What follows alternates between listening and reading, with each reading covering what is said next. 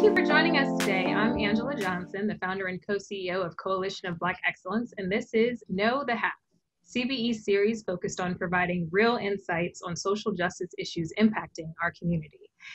And I'm so excited to announce our legal contributors for this series. First, we have Keith Lamar, former Deputy District Attorney, immediate past National President for the National Black Prosecutor Association, board member for National District Attorney Association, and owner and managing partner of the law office of Keith Lamar Jr. LLC.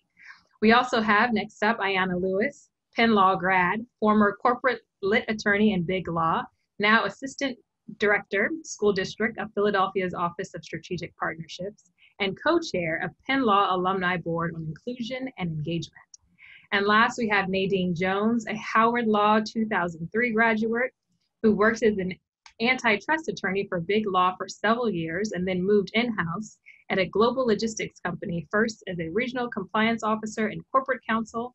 Now Nadine serves as the executive director for the initiative, Advancing the Blue and Black Partnership.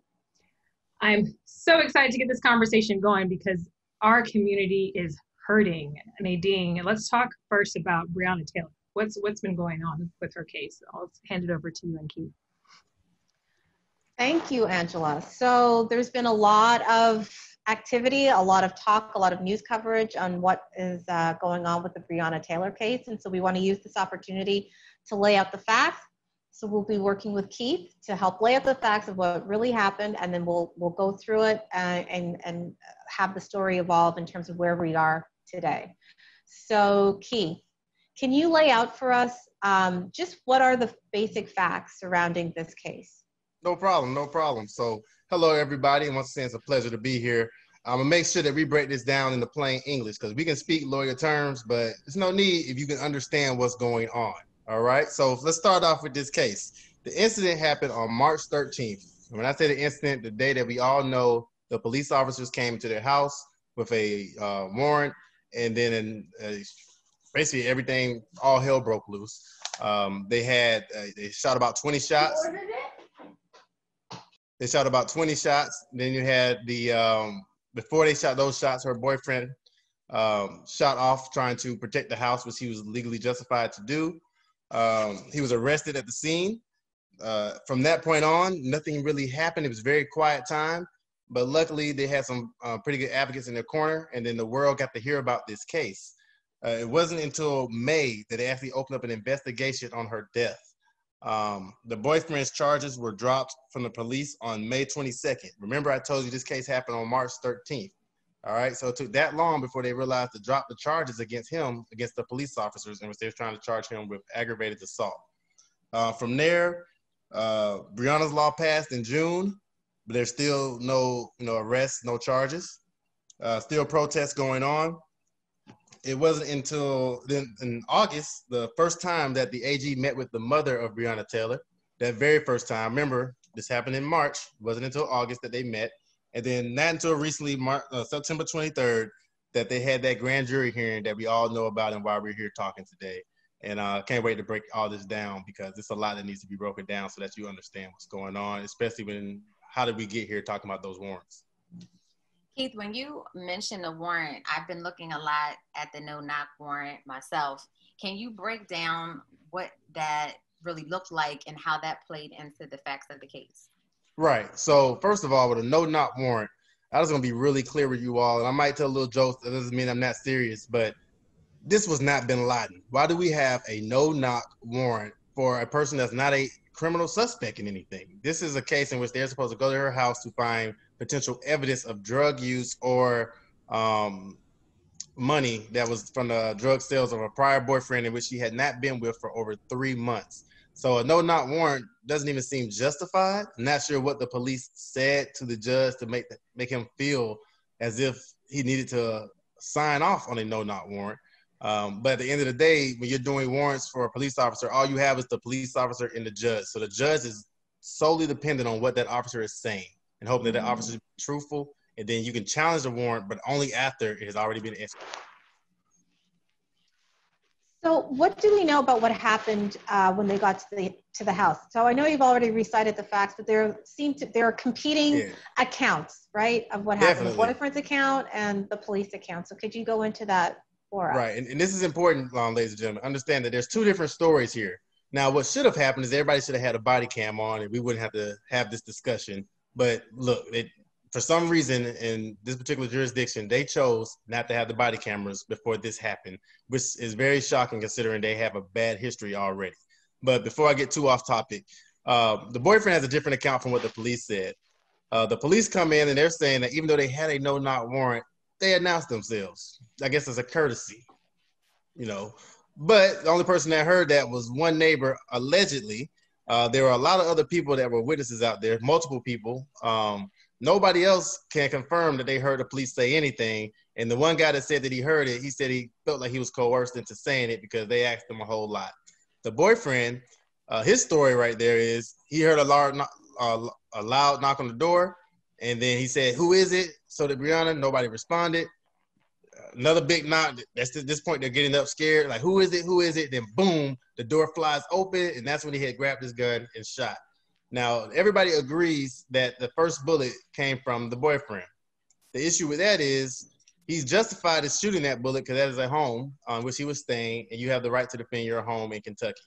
Um, but at the, at the, end of the day, before we get too far, before before I go further than that, why were the police there with a no knock warrant? And then do they really have the real sufficient grounds to even get that warrant? And I don't know what they said to that judge, but that is mm-hmm. something that we're not privy to. So we don't have that information we would have to guess on what he said to the judge. But unless he told the judge that Breonna Taylor was some super killer, I don't understand why it would be no knock and not in the middle of the day. Because it was an, a search warrant. A search warrant for a person that's not a suspect should not be executed at midnight, in which this was executed. All right. So you're not going to arrest anybody, why are you searching my? Why did you choose midnight to search my home? That's not common. Uh, I've talked to a lot of officers about that. If it was an arrest warrant, so be it. All right, because an arrest warrant, you're trying to arrest somebody, you want to go to the house or wherever their location is when you think they might be there. But a search warrant, that, that just doesn't seem feasible at midnight. Uh, the boyfriend also stated that once they shot, it was a multiple shots. Nobody ever came to aid Miss Taylor. Um, that's pretty evident considering they never really got inside the house until way after the circumstances. The boyfriend had got arrested before they walked inside the house and found Miss Taylor. So they didn't get inside the house at all.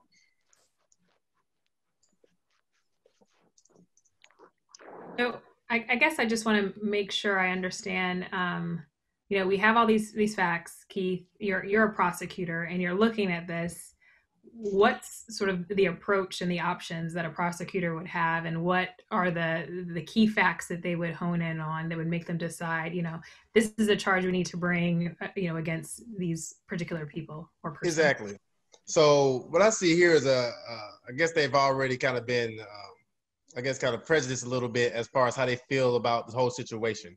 For instance, I mentioned that the boyfriend was arrested that night. Charges weren't dropped till May 22nd. They didn't give him the opportunity to say, well, did he live there? Was it a reason he shot back? They didn't give that opportunity to him.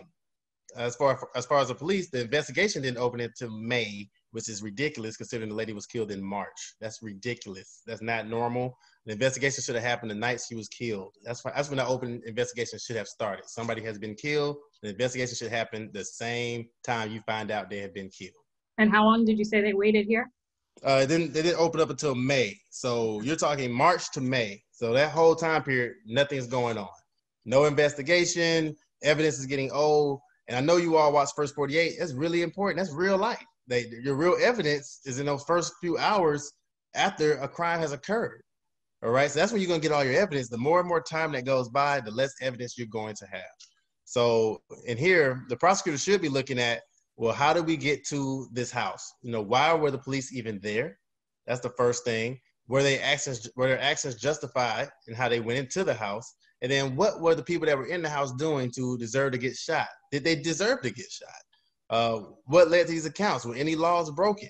And at, at the end of the day, what was the underlying charge? And for me, there is no underlying charge for anybody in the house. It's literally just a search warrant to try to find if there's any illegal drug paraphernalia there or cash at the house. They were not going there to make any arrests.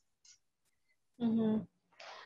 Um, so just to touch on something that you just said, so you said the first 48 hours are critical, right, to collect evidence, but it's critical if you have the intent to prosecute. Right? Exactly. Okay. Exactly. I That's just wanted very to- important. Put that out there. Yeah, and, I, Um, and I hope I hope they caught it because you put it out there perfectly. That if you have the intent to prosecute, then yeah, you're gonna be all over. In which they were all over that gentleman, her boyfriend. They arrested him immediately, charged him with aggravated assault on a peace officer, attempted murder on a police officer, and he sat in jail. Like not for a couple hours, he sat there for over a week. All right, so they was intended on prosecuting him to the fullest. He was questioned. They were trying to make him say, you know, why were you shooting at me? Are you in a drug game? So they was trying to prosecute him even after they already have killed the young lady in the house. They're, so it shows you their focus.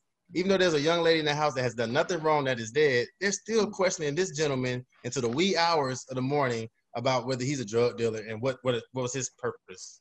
So Yeah, that's- that, That's an interesting point. So, um, because I believe you said in the beginning that that they knew that the person that they were actually going to the house, the the, the ex boyfriend, that he Mhm. wasn't at the house, right? he was that- already arrested. He was actually in custody. They knew he was in custody uh, before they even went to the house. So he was arrested earlier that day. And so with those facts in mind, as a prosecutor, I'm wondering, okay, the guy that we're looking for is already in custody. Are we still going here with with no, you know, no gear? When I say no gear, I mean they didn't identify themselves. They were plain clothes. And we're gonna kick in a door at midnight for a search warrant of some money? And is that seems a- pretty? Is that pretty unusual in, in plain clothes? Yeah, that plain clothes thing seems a little off to me because even here, uh, I'm here in Atlanta. and It clears I'm not in Louisville, but they got SWAT gear. It says SWAT, so you know when the when the SWAT comes to your house, everybody knows it's a SWAT. It's a big SWAT van outside.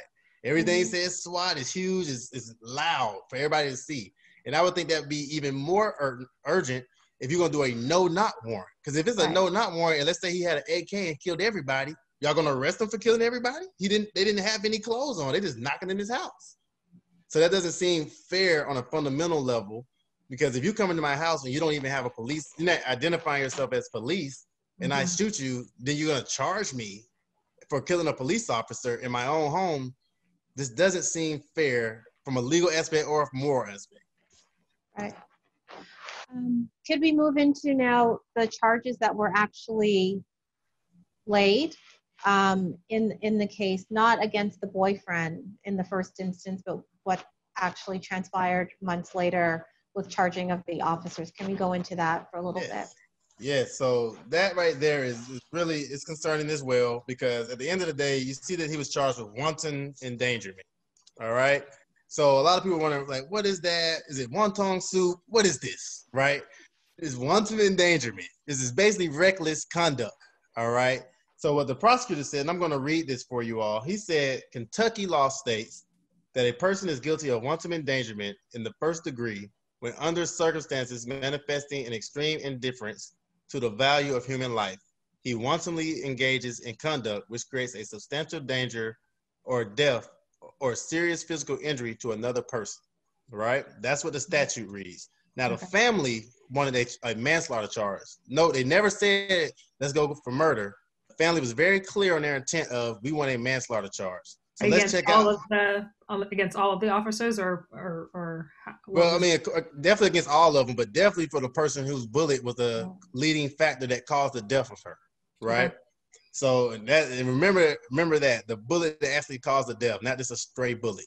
The family wanted the person that right. killed her, their family member. They didn't want to get the person that shot through a wall. They wanted the person that killed their family member. All right. So let's look at what second degree manslaughter is in Louisville, Kentucky.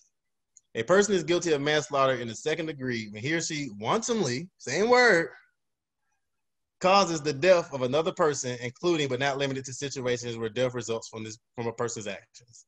Hmm. Now, I know a lot of people are not attorneys. That's okay, but I think we all have a little bit of understanding of English language, right? That sounds like something we could have went after as well. Meaning, if I'm acting wantonly, this is the same word they use for the wanton endangerment, but I cause the death, I can be charged with second degree manslaughter. For me, you know, and I'm not I'm not this gentleman, but that seems like something I would have wanted to go after, especially looking at all the civil unrest that this case has caused. I don't Hmm. think that everybody in the world is for AKA, as you say, tripping and don't understand because they're not from Louisville. Everybody understands what death is. Everybody understands that they don't want a family member killed in the middle of the night while they're trying to sleep.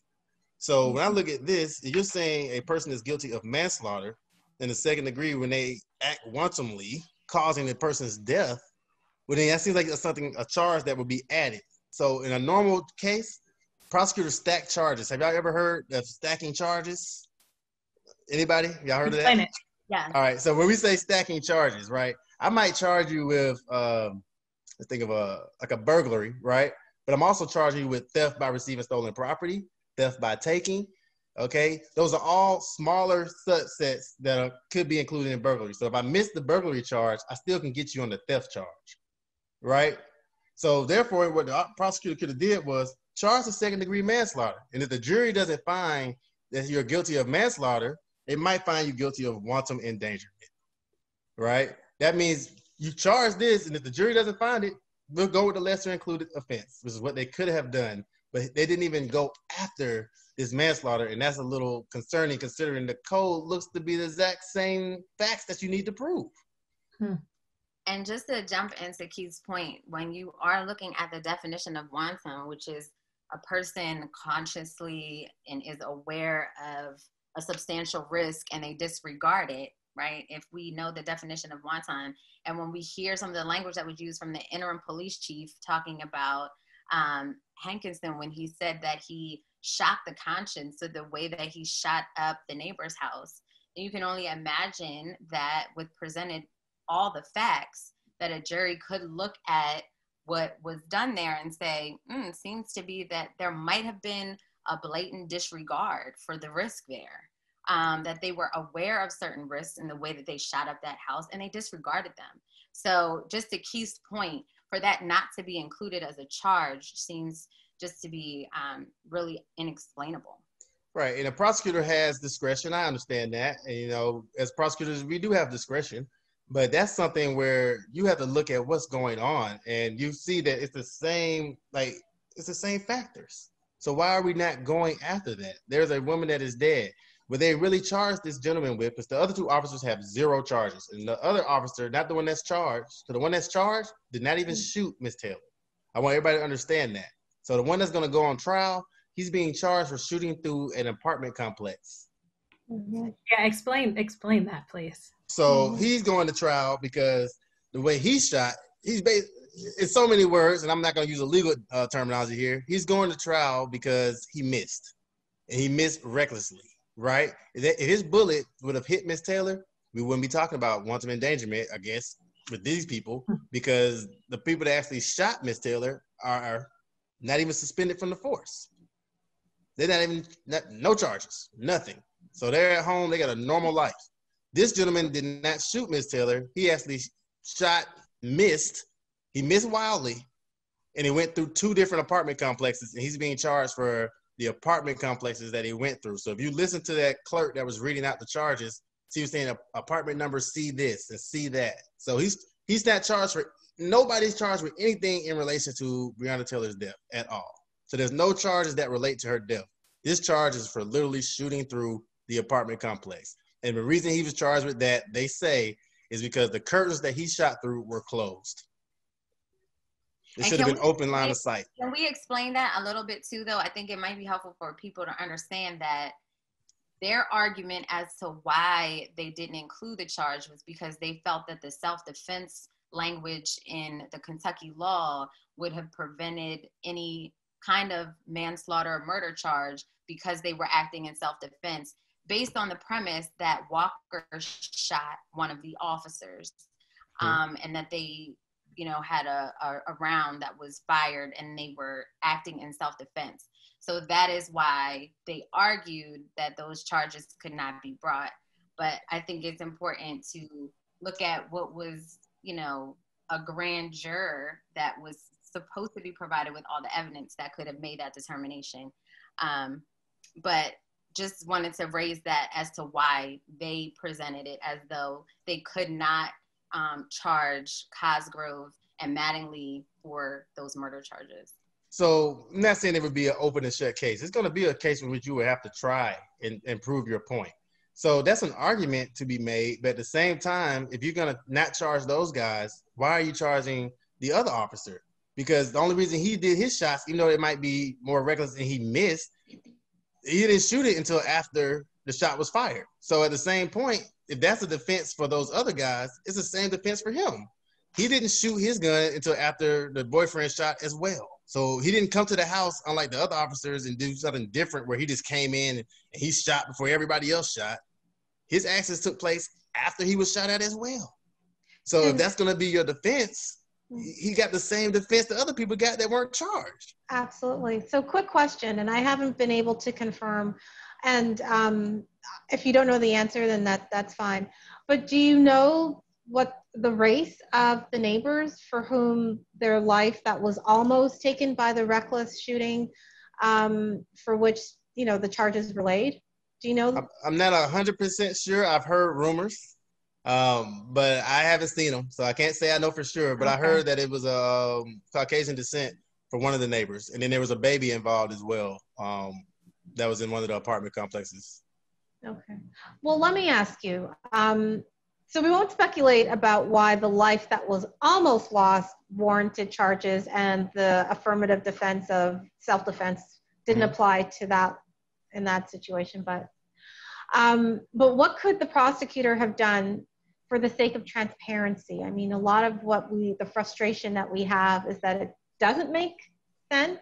Mm-mm. You're a lawyer, or not a lawyer, um, and what could have been done differently so that it so, can make sense to us.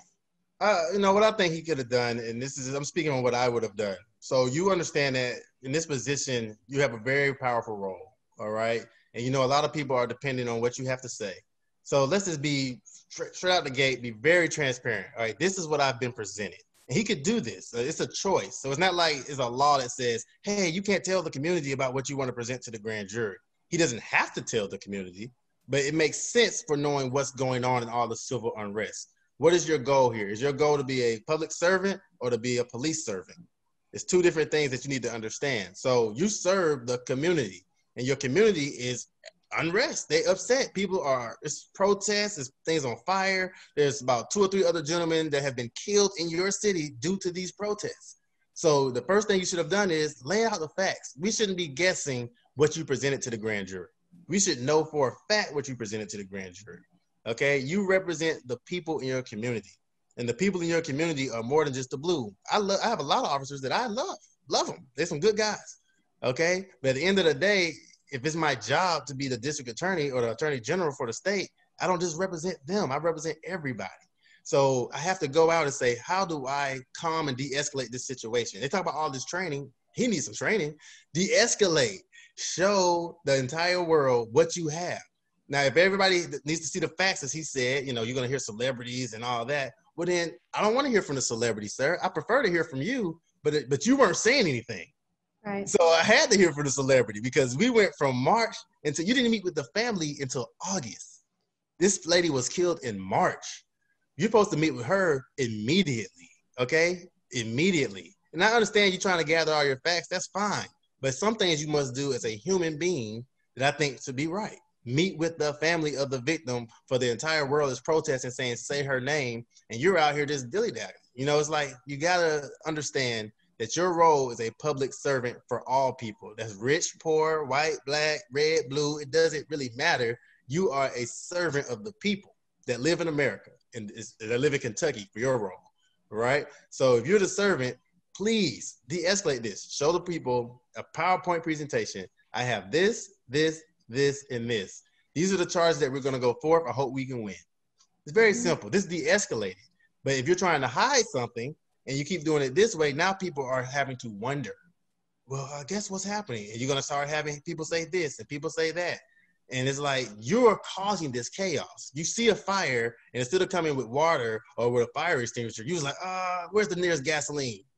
Let me pour that on there. That's what you're doing by not giving people the grand jury information. And now they're trying to get the grand jury information. You're still trying to withhold the information. I think you got to stop that because it just doesn't look good. Even if even if it's all right and everything is the way it should be, you're opening up the can. You know, you're opening up Pandora's box for us to think mm-hmm. anything we want to think. You can end this today. Yeah. Um, as a former prosecutor, I'm so sorry. As a former prosecutor, Keith, if it were a criminal, a known criminal who was killed in, you know, uh, altercation with the police, would you have met with the family right away, or only if it were if it were a victim? Uh, well, the prosecutor, we probably only gonna meet. Yes, so we're only gonna meet with the victim if it's proven that there this is a case in which they were a victim, right? So if you got a case in which you got somebody driving reckless and they get out of the car with a gun and they start shooting off at everybody, we're not gonna meet with that person that they end up getting killed. We're just not gonna do it because that person That's was already doing the most, right? And you think about the guy in South Carolina after he shot up the church. That's not normally how things are resolved if somebody has shot up a church, right? You're not gonna take them to eat and woo woo them and say everything's gonna be okay. Normally, that person, that's the no knock person right there. That's the one you go in and you shoot 20 times, like he needs to calm down. All right, that's the person that you need to do that to. Um, but when you see the case just like this, in which you walk into the building after all the chaos has happened, and you find a young lady that has been killed, shot seven to eight times, and she has done nothing wrong, and you know this now, even if it's a mistake, honest mistake, you still need to meet with them. I'm not saying you come in there immediately and say, I'm going to put the officers in jail, but you meet with her. You talk to her, you explain that, hey, this isn't right. I understand that something has happened. Let me investigate. It shouldn't Mhm. take until August for me to meet with the family of a young lady that's been shot eight times by my police force. Yeah. No, that's so that's so powerful, and I think um, that kind of gets to to your point that that and the, the point of the series. You know why our community is hurting so much, right? Exactly. And yeah, and Mhm. I, I I know you've done a lot of research in this space, but um, just what are what are some of the the practical takeaways that we have here? You know, some of the the policy implications that um, you know as people are kind of digesting all of this information. You know, what can we do with it? Yeah, and there's a lot to digest, but I think I'll just start with one of the key issues that's come out in this case, which is the no knock warrant. What happened with it? Why was it seeming to be botched in the way that it was? Why is it allowed? And we can just start with looking at the history of no knock warrants, right? So they really started um, the no knock warrants around the Nixon era, this war on drugs. And we know in many instances, war on drugs can be code word for war on poor black folks. And so in many cases, these no knock warrants were used specifically within communities of color um, under the guise of what needed to be done as a part of the war on drugs. But when you look at Fourth Amendment law, right, first, these no knock warrants were supposed to be only done under a reasonable suspicion that if an officer was to knock and announce themselves that that would put them at danger. And we see in this case, there was no evidence in the affidavit or anywhere else that led us to believe that Breonna and her boyfriend were in any way a danger or that they would have obstructed evidence. There was nothing that would lead us to believe that. So we can already see how they're used in ways that would be unconstitutional. And when we're looking at now what's been done in Louisville, they've banned the no knock warrant. And there's been efforts now to try to ban those no knock warrants on the state level. And legislation has been put in place to try to ban them at the federal level as well.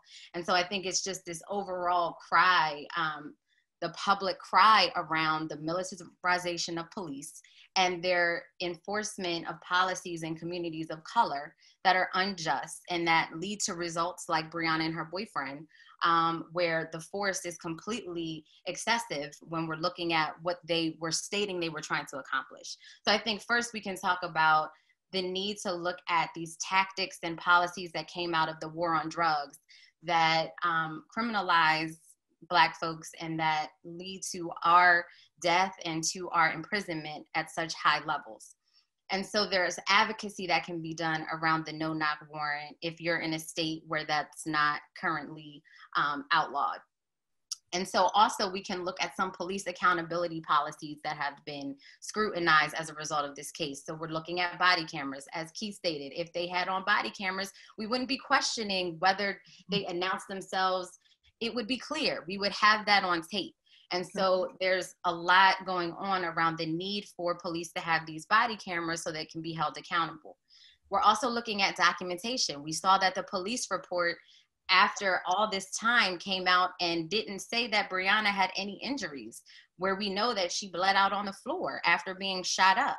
So, how were they able to have a report that indicated no injuries and no forced entry into her home? So, there's an issue with accountability around what the police are able to um, state in documentation that is supposed to lead to us being able to figure out what actually happened. But what we saw here is where, you know, there was a complete breakdown in that process and no one was held accountable. Um, I think one other area to look at is where we're talking about um, policies that would lead to no knock warrant EMTs needing to be on the scene. You know, now they're saying, well, when we have these kinds of situations, we'll make sure that EMTs are there, um, which granted could have saved Breonna's life. But are we okay with a system that has policies in place where an EMT is necessary to maybe get some drugs and money out of a situation. Is that where we are, where we know that it could cost someone's life because they are looking to raid a home for drugs? So I think that raises, raises a larger question again about what we think is okay when we're talking about, um, you know, police discretion and law enforcement in our communities. So these are some questions that I think a lot of folks are asking. Um, and I think one other point that's too big to talk about in this show, but I hope we revisit. This is why a lot of people are talking about an effort to defund the police and looking at ways to prioritize funding and ways that support mental health, social services, and different ways of de escalating situations as opposed to police presence because we see what it can often lead to in our communities. So, again, a conversation for another day, but all of these points do point to a lot of the arguments that are coming out of the defund the police movement. Yeah, I, I agree. Oh, sorry. Go ahead, Keith. I was, I was going to say if I could jump on the defund the police. I mean, there's a lot of talk about it, um, but the only um, how do I say this? The only one, the only person that I know that has already issued an order to defund in the area, presumably law enforcement, is the president, President Trump with defunding all anti-bias training um, that's to be done with federal dollars, right? Um, presumably, I mean, you've got some local police agencies, I believe, that also receive federal dollars. So I would think that they would not be able to use those federal dollars for anti-bias training. And I can't help but think that anti-bias training would be uh, really, really critical at this time, especially in this particular case, not just for the police officers, interestingly enough, and I'm sure I'll get a lot of backlash about this, but also for the black prosecutor. Because why was Breonna not a victim? Right? Why did he not see her as a victim? Uh, I have to believe he saw her as a criminal, which is why Definitely. I asked the earlier question. So, some anti bias training, just so that we can work against and understand our biases and how we can neutralize them, is not, this is not the time to defund that critical training in the area of policing. So, I just wanted to, to add. I love that. that. I love what you said. That makes so much sense. And that's kind of what I was saying. When you talk about anti-bias, it's like first of all, when I was a prosecutor, and this is just people are human beings, right? So if you see criminal activity every day and you hear people lying to your face every day, that's what happens a lot. They lie to your face. All right. So you could be a little jaded. So you might need some counseling. You might need some training to get your mind back right. Because everybody you see, you're thinking they're a liar. They're trying to steal from you because that's what you're dealing with every day. You gotta understand your environment is a lot about who you are as a person. And if people realize that, they'll understand that you need that type of training and counseling as a police officer. Because if I'm risking my life every day, now I'm overreacting on things I shouldn't overreact. Right. right. And I'm not saying you're a bad person for that, but that's just what it is. If somebody's been hitting me every day, so you come to me like, hey, Keith, what's up? High five. And I'm jumping. Right. The reason I'm jumping because I've been getting hit in the face every day. That don't mean I'm tripping. I'm just used to getting hit, so I'm trying to defend myself. So that type of training needs to happen because when you're a prosecutor, you start looking at people saying, "Well, they drug dealers anyway." You don't mean no harm, but that's happening in real life, and you have to be aware of it. If you're not aware of it, you're gonna keep doing it, and now you're gonna look up and you're gonna have an innocent person in jail. If this didn't happen, Breonna Taylor's boyfriend would still be in jail waiting trial for attempted murder on a police officer. Mm-hmm. That that's that's that, and, and they would have been prosecuting that to the fullest. All this, we don't have enough facts for the grand jury would not have happened. All right, because he was already in jail. He already had bond and charges, and y'all didn't even drop that until May. So what I'm saying is we have to understand that, hey, we're not trying to call you a bad person because like I you see my thing in the background, that's a badge. you know what I mean? That's a badge back there. I'm not saying I hate the police because I don't. I mean, police are cool with me. I want to be safe. Right? I'm in this home talking to you all, and I feel safe in this home that nobody's gonna run up on me because I have some security. Right? But at the same time, I don't want to feel unsafe that the police are gonna run up on me either. I can't take both. All right, because if the police gonna run up on me too, then that's what I'm supposed to do with, with, with riot. So don't create the problem and then be like, "Oh, why you mad? Yeah, you yeah, shot me." Just a quick just note on that. Um, I think that's also something that comes out of that conversation when we're talking about the funding, not necessarily abolishing the police, but just ensuring that there are social services and supports and money that's prioritized differently, right? So we saw in LA $100 million that was directed from the police into the communities.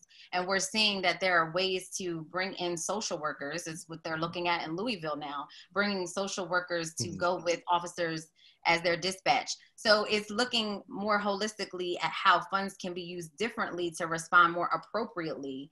Not buying tanks, right? Because we buy tanks out here. You know, I'm not sure what man gonna beat up the tank, but they be buying tanks. Right. I agree. The thing about Louisville is you see what they did, right? You got the Breonna's Law, you got an interim black female police chief now, you got all this stuff that they're trying to do, but it's like, are you really doing anything? Because the last time I checked, nobody was arrested for Breonna Taylor's death or even charged or attempted to be charged, to our knowledge. So that goes back to the transparency that we all must have. And then we must, as a country, learn. This should not happen again, but it will. And that's the sad part. Because we'll say, oh man, but we don't have body cameras up in Montana. I'm not saying Montana has anything bad going on. I'm just using that as an example. Because if you see this is going on in Louisville, you should do it here in Georgia. Do not let that happen here. All right. If you see that going on in Georgia, in Florida, hey, take note. Did y'all see what happened in Georgia? Let's not have that happen here in Florida.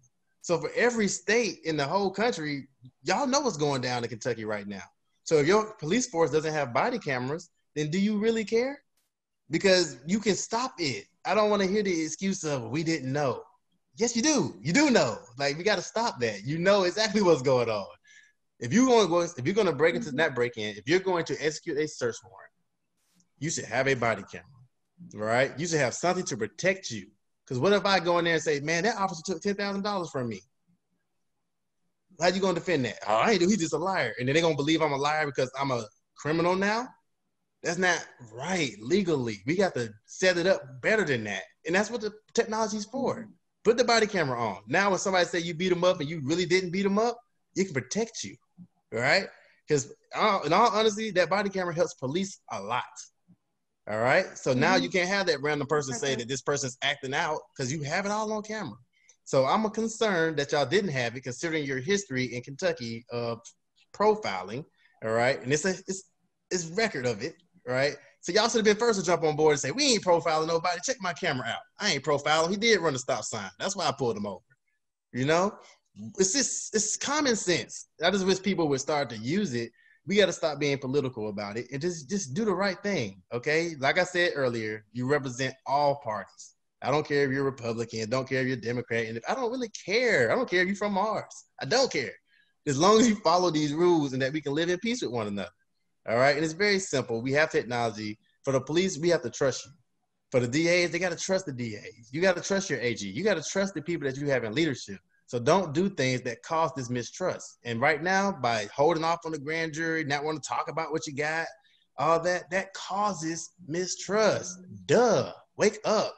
Duh. It causes mistrust. So just do the right thing, man. I know that you don't want to do it, but you got to do it. That's why you're a leader, right? Leadership is hard. It's hard, right? But you got to do it. I got to expose. I, I have to be vulnerable as a leader because I'm gonna make mistakes. Like I said earlier, we're all human. We are not saying you're perfect. You will make mistakes, but you must be vulnerable in your role as a leader. You must be vulnerable to be a police officer. You're a little vulnerable, but that's what you signed up for.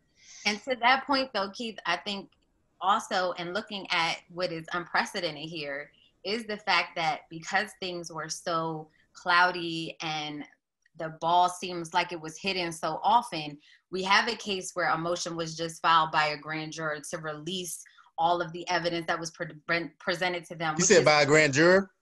yes, the grand juror who filed a motion for the AG to release all of the evidence and transcripts of what happened in those proceedings because there were so many gaps in terms of what seemed to be what the AG presented as what the grand jury decided and said, "Oh, we only charge this one, you know, officer because this is what they decided." And this grand jury is saying, "Well, wait a minute we weren't presented with all of the evidence. That's it. We didn't, have, we didn't feel like we had the opportunity to maybe charge what manslaughter to.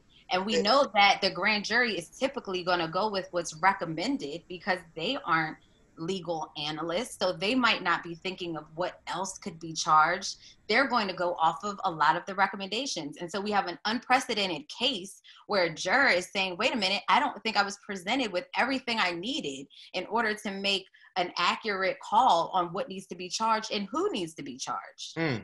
And that, that's got to be looked into. I think, see, that's so telling. You're telling me that a grand juror, somebody that was in the in the room, okay, in the room, is saying I want y'all to see what I saw.